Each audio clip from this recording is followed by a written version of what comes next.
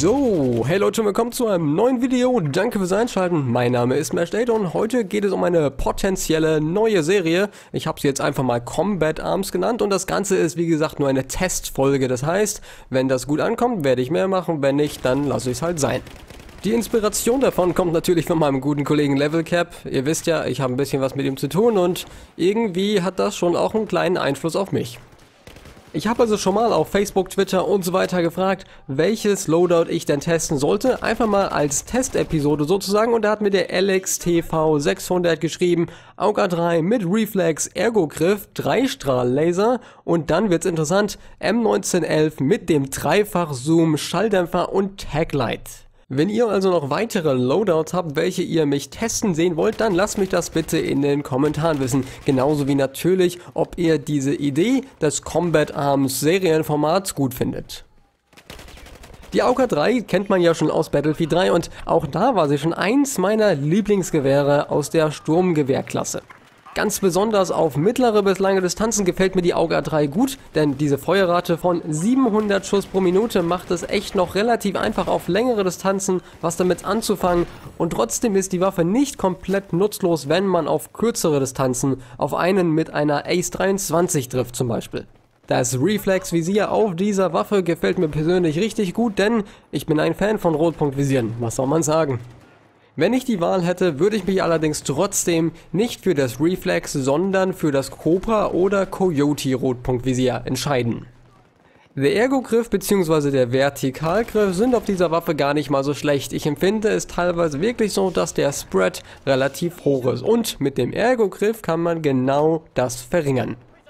Das heißt, beim anvisierten Schießen oder auch beim Schießen aus der Hüfte wird mit dem Ergo- oder Vertikalgriff die Streuung während des bewegten Schießens um 50% reduziert. Persönlich bin ich jetzt kein guter Freund von dem Dreistrahl-Laser, allerdings ist das auf dieser Waffe halt nun mal drauf und das ist auch eigentlich gar nicht so schlecht, denn jetzt kann man auch noch auf kurze Distanzen ordentlich weghämmern und blenden. Das Schießen aus der Hüfte funktioniert also wunderbar, da sollte es keine Probleme geben und man muss jetzt theoretisch gar nicht mehr anvisiert schießen.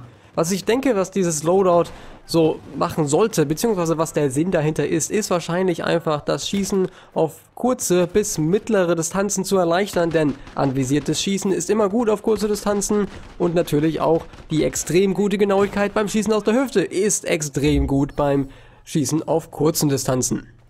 Als Pistole habe ich ja hier die M1911 dabei, die persönlich gesehen nicht eine meiner Lieblingspistolen ist. Allerdings ist dieses Setup äußerst interessant. Der Dreifach-Zoom plus Schalldämpfer plus Taglight.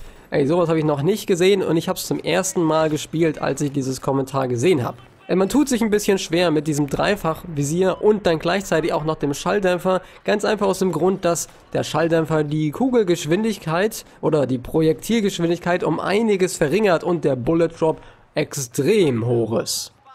Wenn man also mit der M1911 auf kurzen Distanzen unterwegs ist und anvisiert schießt, dann wird man sich wahrscheinlich in Situationen finden wie dieser, wenn ich zufällig eine parat habe. Das heißt, man sieht einfach 200 Gegner vor sich und man weiß gar nicht, was damit anzufangen ist, denn der Dreifach-Zoom, das zoomt einfach so dicht dran an die Gegner und dann auch noch der Schalldämpfer. Man denkt oft, dass das Teil nicht trifft. Hier zum Beispiel auf Pistol-Only-Servern funktioniert das allerdings ziemlich gut. Ich habe auch gemerkt, dass die Genauigkeit beim Schießen beim anvisierten Schießen während dem Laufen immer noch ziemlich gut ist. Das heißt, man kann auch gerne nach links und rechts sich bewegen, bevorzugterweise nur in eine Richtung, denn da wird die Streuung wahrscheinlich nicht ganz so nach unten gezogen. Das Taglight auf der Waffe bringt es dann nochmal so ein bisschen auf kurzen Distanzen etwas mehr rauszuholen aus der Waffe, die Gegner etwas zu irritieren, zu blenden und so weiter. Auf langen Distanzen allerdings wird es dann wieder ein bisschen doof, denn naja, was bringt es euch auf langen Distanzen, außer dass die Gegner euch einfacher sehen. Auf der anderen Seite ist dieses Setup wahrscheinlich gar nicht für lange Distanzen gedacht. Wie gesagt davor, es ist wahrscheinlich einfach nur ein Close Quarter Setup. Das ganze Teil mit AUGA 3, Reflex Ergo Griff, 3-Star Laser und M1911 mit Dreifach Zoom, Schalldämpfer und Taglight, das gehört wahrscheinlich alles irgendwo auf bis zu mittlere Distanzen. Und gerade dort funktioniert es halt am besten. Zu M1911 würde ich eventuell noch sagen, dass man hier nochmal den Schalldämpfer wegnehmen könnte, um diese Waffe nochmal auf längeren Distanzen effektiv zu machen, beziehungsweise einfach überhaupt nutzbar zu machen, sollte der Gegner halt einfach mal 20 Meter weg sein, denn selbst auf diesen Distanzen ist der Bullet Drop unglaublich hoch und es wird euch schwer fallen, den Kopf zu treffen.